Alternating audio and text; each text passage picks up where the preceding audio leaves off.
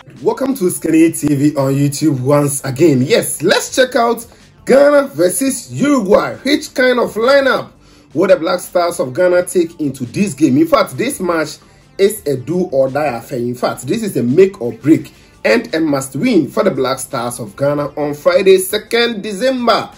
well, Luis Suarez, we are coming for revenge. All the players know a Uruguay national team and all Uruguayans know that Ghana is coming for revenge. Yes, the players does not have to keep it in mind that they are going for revenge. It's just another game that we just need to go there and pick all the three points in order to qualify. Now, in this video, we are going to check out the possible best 11 that the Black Stars of Ghana will be using against Uruguay. I've already brought you a lot of possible 11s. The last one I brought you before our game against South Korea, you know that um, there was only about one change, I think one change, yes. Um, you can just see it on your screens. If you compare it to the starting lineup, it was only one change that came. So, per our reports, per what is going on on the grounds, these are the possible best 11. So, in this video as well, we are going to give two possible 11s.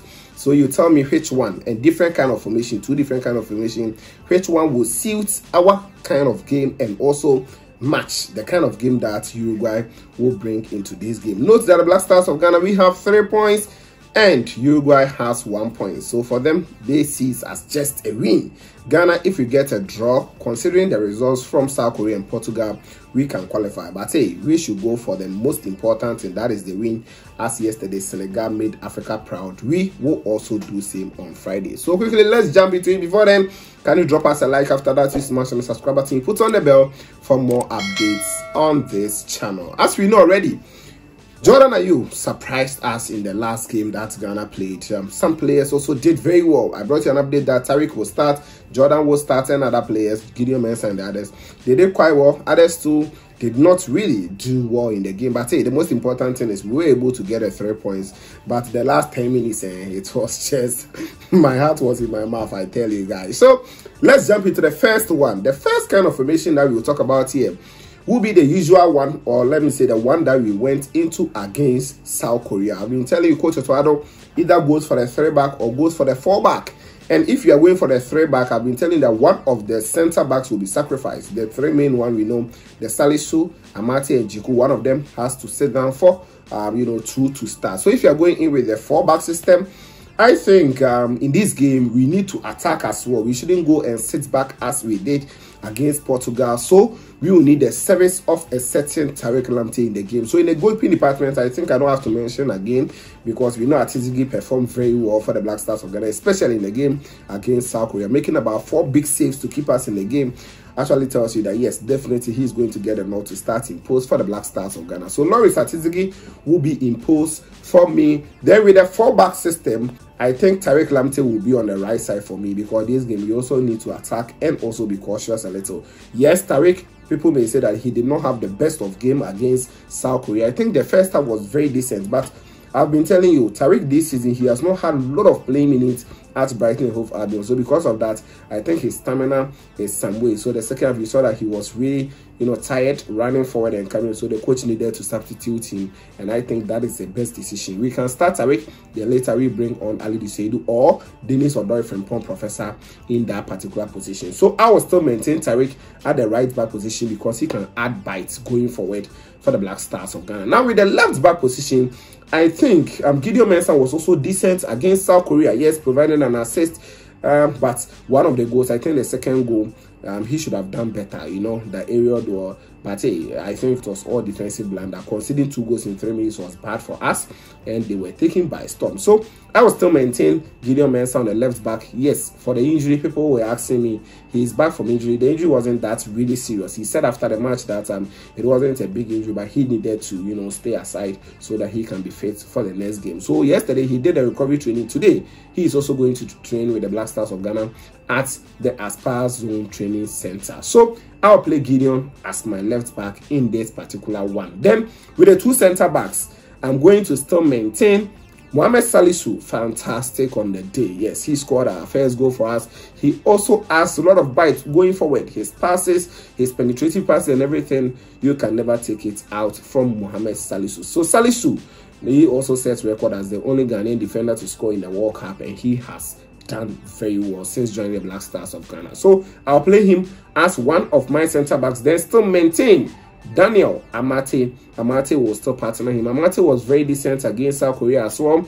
Just that one or two occasions, himself and Salisu did not communicate well. So those crosses coming in, in fact, we need to deal with it because you are going to need the likes of Cavani, the likes of Nunez, and the likes of Luis Suarez, who are also very good in the area duel. So Ghana, we should work on that. Now, with the midfield, as it is four back, then we are going to get a three-man midfield. With a three-man midfield, I think we still go for the two pivots of H. It is going to be one Thomas Teh Partey.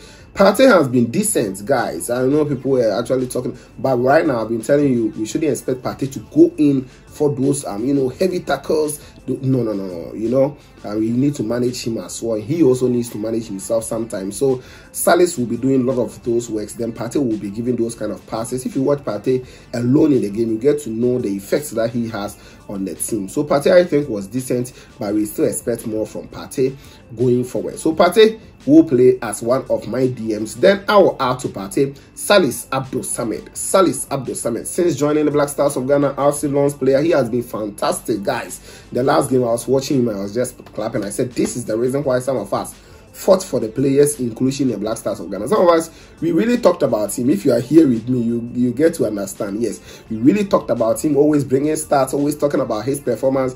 And since he joined the Black Stars of Ghana, my own, my his performance has been super. So I'll still go in with Salis Abdul Samed, two partner Thomas Teh Partey. Then in front of them will be the captain for the Black Stars of Ghana. That is Andre. Dede Rami Morgan UPL. Yes. Um, he scored in the first game. For our second game, he was also very effective in the game, even though sometimes um, approaching 50th, 60th, 70th minute there, you get to know that he will be gasping for air, telling you that yes, because of the age and also, you know, yes, his experience, he needs to be taken out for another player to come in and give us those energetic tackles and other stuff. So, for his experience and other stuff, I will still maintain the captain for the Black Stars of Ghana, Andre Dede Rami Morgan are you in it. Later on, I can bring on um, Daniel Kofi to also replace him in that position. Now, with the up fronts, wow going in with a three front i think i think yes we still need to maintain jordan ayew jordan ayew on the left side has better communication with gideon mensah Jordan, one problem about him is he's very good, but he doesn't give us a lot of consistent performances. That is why Ghanaians have been criticizing him a lot. But Jordan, on his day, is a fantastic player. He will dribble, he will pass, he will assist, he will score on some days. So we only hope and pray that Jordan will maintain that particular performance he put up against South Korea, against Uruguay. But I won't be surprised if Coach Otto Addo decides to rest him because Otto Addo approach games depending on the opposition. Then he also selects his players. He has said that selection is a big headache to him, so we should also understand him on that front. So I will still maintain Jordan Ayew on the left side of attack for the Black Stars of Ghana. Then on the right side of attack, we all know already Kudus Mohammed scoring two goals, winning man of the match. In fact, he did fantastic on that day. So I'll still maintain Kudus Mohammed on the right midfielder, on the right side of attack for the Black Stars of Ghana. So Kudus, yes, I'll maintain him. Two matches, two goals, one assist. Fantastic for him for the Black Stars of Ghana. Then the man to lead the lines will still be Iñaki Williams to me. Yes, Iñaki, people have been talking about him. He doesn't score a lot. He doesn't do this. I've been telling you, he's not come to the national team. He's now settling in. Yes, um, yesterday I brought you an update that um, Asamoah spoke about him. He said, yes, we should have patience for him. The kind of runs, the kind of things he does on the pitch, tactically, it helps the team, just that he's yet to score. But hey, he will find the net. The last match we saw him, you know, miss kick, or he, he actually missed the ball. Then Kudus save him by burying that particular ball in the net. So we only hope and pray that Iñaki will get his rhythm. Hopefully he scores against um, Uruguay in this particular fixture. So I think this will be the best 11 if we are going in with a 4-3-3 formation. We can be also a variation of a 4-2-3-1 against Uruguay. Now with the second kind of formation, it's obviously going to be the 3-5-2 formation, which Coach Otto Addo can also deploy. But my problem is when Otto Addo deployed this against um, you know Portugal at a point in time, we did not see the attacking uh, of this particular formation.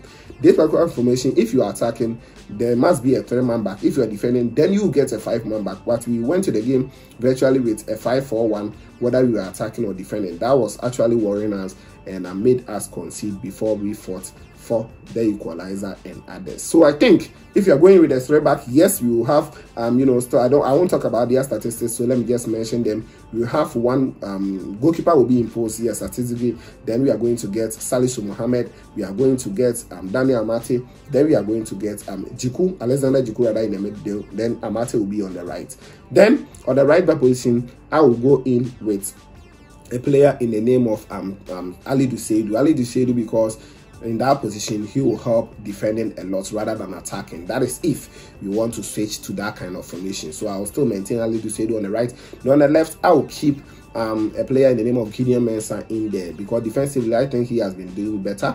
But Baba can also give a con, uh, you know a contest in this particular front. So um, yes, that is it. Then in my uh, midfield, I'm going to still maintain Partey, Salis, then Andrew Dede, Rami Morgan Ayew for the three midfielders to work for me. Then up front, so the three back, then the five so the five midfield will be, um, you know, um, Tariq will be on the right. He will be drawing back. Um, Ali Sedu. Then Gideon will also be on the left. He will also be drawing back.